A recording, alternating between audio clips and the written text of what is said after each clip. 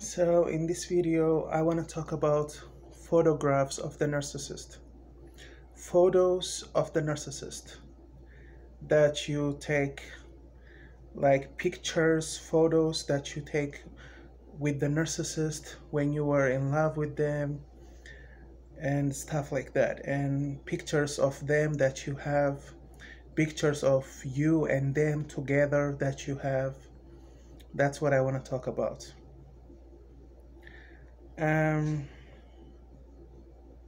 so, for example, um, my ex-wife, the narcissist woman that I was married to, I was telling her yesterday that I will start shredding or cutting into pieces with a clipper our photographs, the photographs that is me and her together, because those photographs show love that is keeping the memory or the memory of you and the narcissist.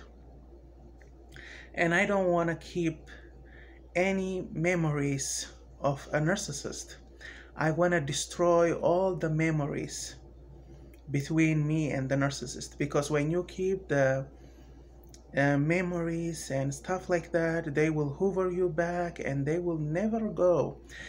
But anyway if you even shred the photographs whether you shred them or not and a narcissist will never leave. They will always they will be always there like after you. They will always wait that you come back or maybe they will come back whenever they want to come back in the future. They will come back after 20 years if they want. These people are crazy. I watched videos on YouTube which are talking about some people, narcissists, left them and come back after 25 years and still bothering them. And I said, oh my God, I don't want this to happen to me. You know, it's a really tough deal and I wanted to shred all the memories that I got with the narcissist. So I told my narcissist ex-wife yesterday that I'm gonna start cutting by clipper into pieces the photographs of her. I have photographs of her only, several photographs of her only, because she's my ex-wife and we are fighting for a decade for 10 years so there was time that we were loving each other and love bombing and all of that. So I have several photographs of her and I have several photographs of me and her together. And uh, I told her I'm gonna destroy all the photographs of her and I'm gonna destroy all the photographs of me and her together because I don't want those memories to be alive. I want them to be dead and gone and out of my life. And but I have few photographs of her and my son. And my son and her, their relationship is different. It's a mother and son thing. Narcissists are way mean to the person that they are married to some of them they are not that hard on their children. I have been raised by a narcissist and it wasn't that hard really. But when i get married to a narcissist it's so hard. It's so miserable. And the narcissist that raised me too it was hard but this one is harder. When you get married to a narcissist that is the worst way to deal with a narcissist. Because you are having babies with this person sleeping with them having sex with them all kinds of stuff. You are very close. You are so involved with each other. But i don't want to be involved with her and that's why i'm cutting the photographs into pieces.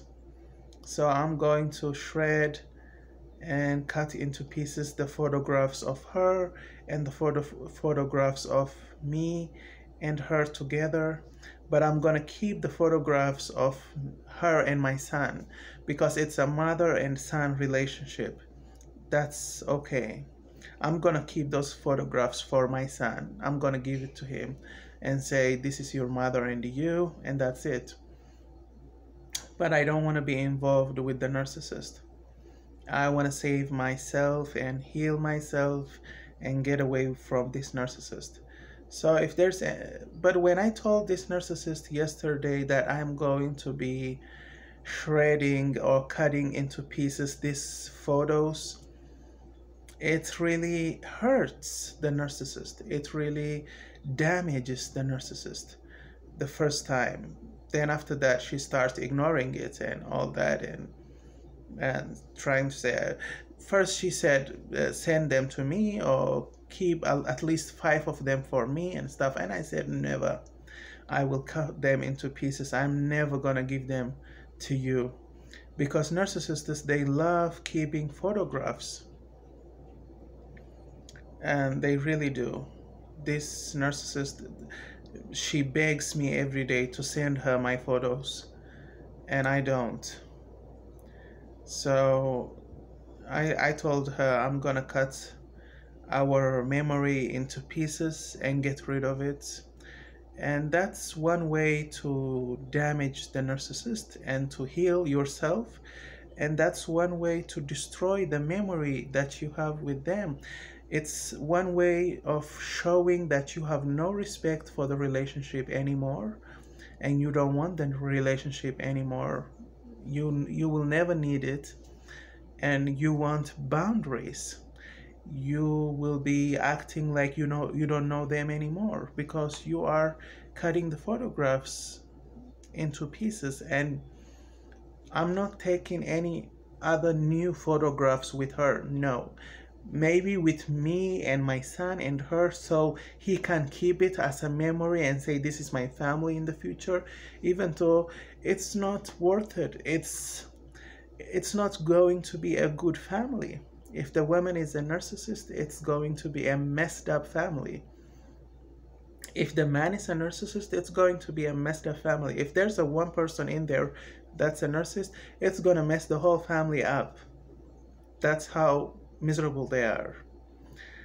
But anyway, I want to shred all those photographs and if there's other people out there and if they watch these videos, this is one idea to keep the narcissist out of your life. No new photographs with them and the ones that already exist, delete them. And if there are papers, I have so many um, uh, photographs like real photographs, not in my phone. But the ones I have in my phone too, I deleted them. I want to delete all the history that I have with a narcissist. I don't want to remember it. I want to heal myself. That's one way to heal yourself and it creates boundary with you with you between you and the narcissist. It's it just really feels good to delete and burn everything you have with a narcissist. Why keep it? So that's one idea to damage them because I find out yesterday when I told her it really, she said, Oh, I want to keep them. Uh, no, I said, No, I want to cut them down and I will when I get time. So you guys too can do that. And thank you for listening.